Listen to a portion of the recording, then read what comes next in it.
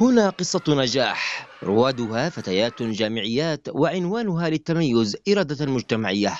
إيناس صالح معلمة عملت على تأسيس روضة للأطفال عام 2006 وسط مدينة قعطبة بمحافظة الضالع وبجانبها أمل القعطبي أكاديمية روضة أطفال.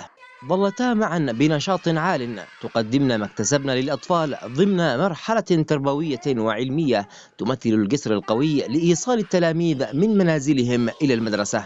طبعا الأشياء اللي أرسلها للصغار أعلمهم السلوكيات الصح يعرفوا يميزوا ما بين الصح والخطأ ونعملهم كعملية تمهيدية عشان لما آه، ترفيه المدرسة يعني لما يوصلوا للمرحلة الأساسية للدراسة يكون عندهم خلفية للحروف وتمييز ما بين الحروف وأيضا السلوكيات وحبهم للمدرسة وتعاملهم مع المدرسين والمدرسات. تهدف الروضة إلى تنمية الصغار تنمية لغوية وعقلية وجسمية وجسدية بطريقة تربوية شاملة من خلال تلبية احتياجاتهم قبل الالتحاق بالتعليم وفيها يربى الصغار على التربية الأخلاقية. والاهتمام بالذات. الهدف من روضة ال- الأمل للأطفال هم تشجيعهم تشجيع الأطفال للذهاب إلى المدرسة. ثاني شيء تشجيعهم للقراءة والكتابة. والهدف ال- الأكبر هي التربية قبل التعليم. نعلمهم بعض الآداب وبعض التعليمات.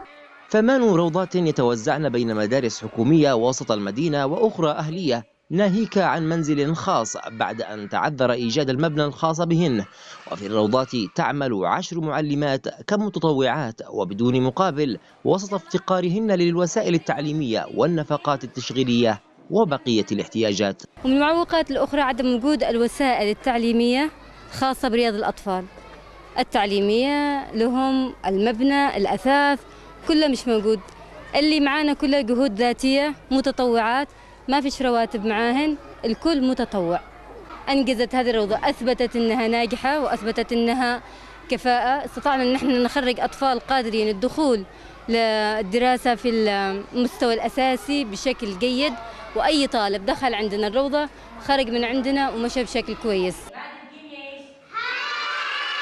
ثلاثة عشر عام من العطاء المتواصل لروضة أسستها فتيات وسط مدينة قعطبة قدمت من خلالها الكثير للطفولة وسط افتقارهن لبيئة ملائمة وآمنة يستطيع الصغار قيامهم بالأنشطة اللازمة لتكافئها الجهات المختصة والمنظمات المهتمة بالطفولة بالإهمال واللامبالاة. مبادرة يا ترى هل ستحصل على استجابة بتوفير المبنى والاحتياجات اللازمة أم سيظل العمل الطوعي إلى أجل غير مسمى؟